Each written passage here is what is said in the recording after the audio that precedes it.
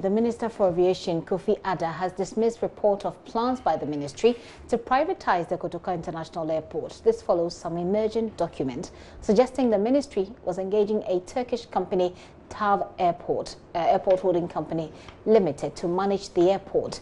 But speaking to Joy Business, Kofi Adda says the information is false. He actually describes it as a political gimmick. We'll hear from the minister shortly, but let me bring you details of that uh, information which the minority is telling us is a leaked cabinet memo. Uh, and, and, here is actually ranking member of parliament, Roads and Transport Minister. Um, Roads and he is a ranking member for Roads and Transport Committee in Parliament, Kwame Agbodza. He's been speaking to my colleague Joseph Opoku Gakpo. Kumas, uh, the Tamale airport, which the president signed, uh, cut the sword. The, the, the, Tamale. the, the Tamale interchange. Uh, Tamale interchange. If you open this agreement, uh, and uh, obviously, we are told the agreement has been entered into on the 18th of July, uh, 2018. If you were to open to uh, one of the pages, uh, the clauses in this agreement, you read, and it reads, if, if I read it, I can give you a copy of that. It says at, uh, at point number five, A, the contract shall, come shall come into full force and effect on the date within when all the following conditions are fully established. And he listed a, a, a number of things.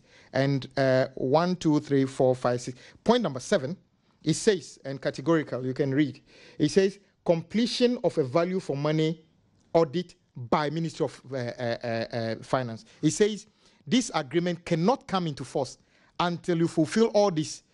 We are aware that there's no value for money for Tamale interchange.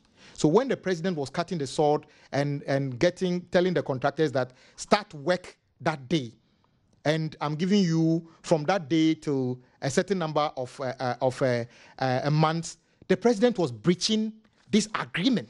The president is a lawyer. I am a layperson. I'm saying that my beef with the president on this, when I I'm not sure whether beef is the right word, it's not to say don't build infrastructure. It's to say that as a lawyer, as the, the, number one person in this country, we want to see you respect the laws of this country. And the law says that this project cannot start until a full value for money audit is done. Why do we need full value for money, my brother?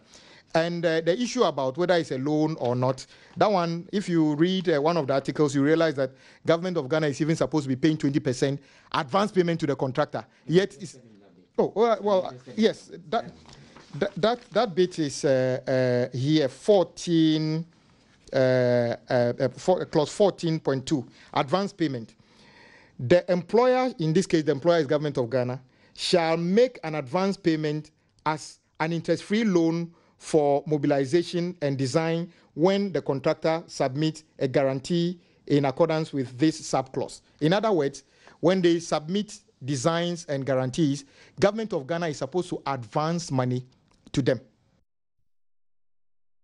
Kwame Agbodza there speaking to you. My colleague Joseph Opoku Gakpo. Well, what is the ministry or what is government's response to this? Hear them. I haven't seen anything credible on that. I'd like to get something credible from whoever is putting this out for them to explain to me what they mean by privatization or selling and so on and so forth. I've been a consultant for the most part of my life, professional life in Ghana. Uh, when you talk about privatization, it takes all kinds of connotations. I don't know where it's come from. I don't know who's put this out there. I've even heard that it's been said somewhere that they're selling Ghana Airport. I don't know who you're going to sell it to, who's going to buy it, for how much. I'm surprised at this. But the government would always look at any kinds of arrangement that would improve the value of the assets that we have in the nation. Bear in mind that the president has made it very clear that he's here to protect the public purse. The public purse is not just about the money, about the treasury, but even about the assets. So if there's any assets that the state owns that we have to protect, it's not about just protecting and keeping the way it is and keeping there for it to remain that way for a long time. That in effect would mean that the value is going down. It would be our duty for us to enhance the value of that asset. So any kinds of arrangements, any kinds of business plans, any kinds of discussions, any kinds of negotiations, any kinds of partnerships, whoever brings them, whether it's you, the journalist, or any business person, who proposes this is the way that we can help you to improve on the assets that you have, to add values on that, we'd be more than happy to engage you.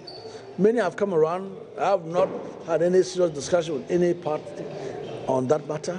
But at this stage, nobody has formally come to me talking about what we need to do to privatize. And I don't, I don't know where the word privatization comes from.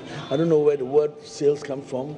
I'm yet to see the documentation, to read, understand, and know what they're talking about. So I think the question should go more to those who are putting this out. If some people undertake some cheap political shots, or what does exist? That's for them to answer. There. What does the airport company itself has to say? Managing Director Yao Kwakwa is saying that his outfit is still in charge of running the airport. Well, I've also heard uh, rumors, but uh, as the number one at the Ghana Airports Company, uh, I believe you all understand that if something of that nature were taking place or is being discussed or have been tabled, I'll probably be the first person to know.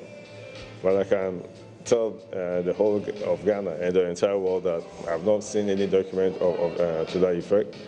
And as such, I can only refer to the rumor going around. I've seen a one pager that talks about, uh, I think, a memo written to cabinet. I've not seen any document. The only thing that I've seen is what I believe you've also seen that is going around.